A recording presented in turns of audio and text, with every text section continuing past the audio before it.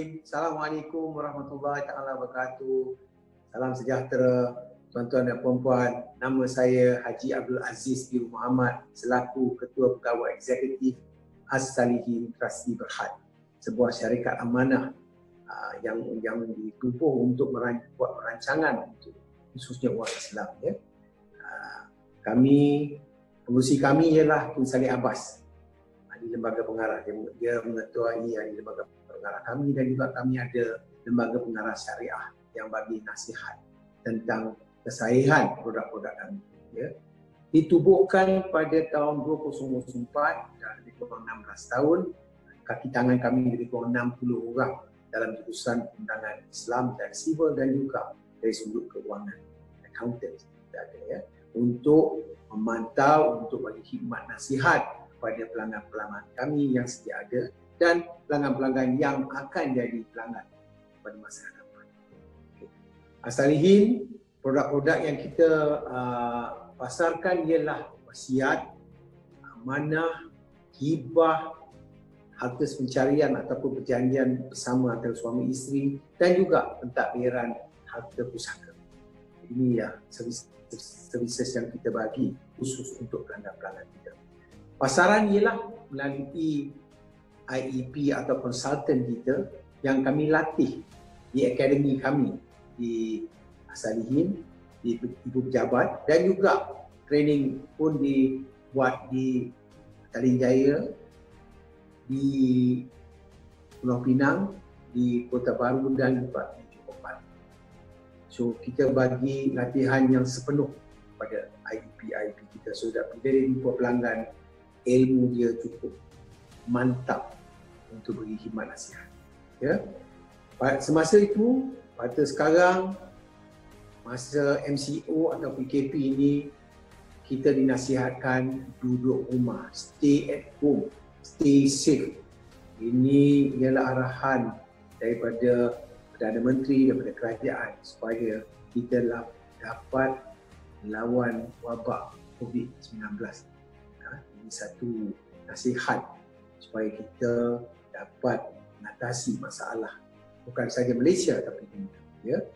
Jadi semasa ini dalam masa ini kita bagi stimulus package. Macam mana kerajaan bagi stimulus package asalihin bagi stimulus package. Dari sudut uh, diskaun-diskaun untuk produk-produk yang sedia ada pada pelanggan-pelanggan kita. Dan juga kita bagi package discount training 20% kepada orang-orang yang nak jadi kita punya IEP. Dalam masa, dalam pendek ni kita cerita hashtag Asanhin Prihatin. Plan your WhatsApp at home. Ha, itu kita punya tagline untuk bagi tahu ke orang ini ialah Asanhin yang yang saya nak kata caring organisation untuk Bank Islam khususnya kat luar. Ya, saya harap, saya harap time bila kita ada rumah ni, kita renung, kita fikir. Kita ada masa fikir macam mana kita nak agihkan harta-harta yang kita ada. Selesai hutang-hutang kita. Macam mana kita nak rancang, nak bagi mengikut faraid atau nak ikut sujud kesujudan bersama. Ini time-time kita kena buat uh, pemikiran. Supaya bila kita dah tak ada, kita tak ada, kita tak tahu. Berjadi awal besok kali, besok. Yang muda pun pergi, yang tua pun pergi. Jadi kita rancang sekarang. Time sekarang ialah time buat perancangan. Jangan worry. Pakai sistem yang kita ada.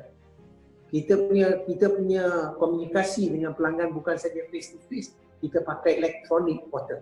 Jadi dokumentasi dokumentasi ialah melalui electronic system. So kita boleh communicate, kita boleh hubung pelanggan pelanggan kita melalui internet kita melalui Facebook, Instagram. Ini macam mana kita communicate Dan insyaAllah walaupun fizikal kita tak jumpa, kita akan jumpa melalui hadiah. So saya harap pelanggan-pelanggan kat luar sana ambil peluang emasan. Kontak kami, hubung kami, hubung konsultan kami supaya kita dapat pergi pertolongan. Kita sediakan produk-produk. Jadi bila habis masa bila dah tak ada MCO kita boleh jumpa orang kat luar untuk buat apa ni dari sudut tanda tangan dokumentasi-dokumentasi yang kita dah buat masa masa MCO period. Saya nak bagi tahu walaupun MCO period stay at home, kaki tangan saya masih kerja. Masih kerja dari rumah. Masih kerja untuk sediakan produk-produk yang kita dapat permohonan. Dapat beberapa pintan, kita dah sedia ada.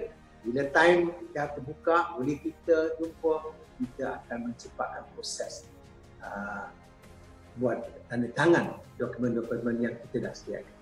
So saya harap kaki tangan-kaki tangan saya pun sekarang tengah terus dia telefon kami. Telefon kami minta nasihat, telefon konsultan kami minta nasihat bila kita boleh sediakan bila masa yang betul kita boleh licinkan proses, kita akan completekan dokumentasi. Ya, so itulah pesanan saya dan pesanan terakhir macam apa PM cakap stay at home. Selamatkan diri so that bila kita dah time dah bagus, kita boleh go back business as usual. Sekian, wabillahi taufiq wa hidayah. Wassalamualaikum warahmatullahi taala wabarakatuh. Bye.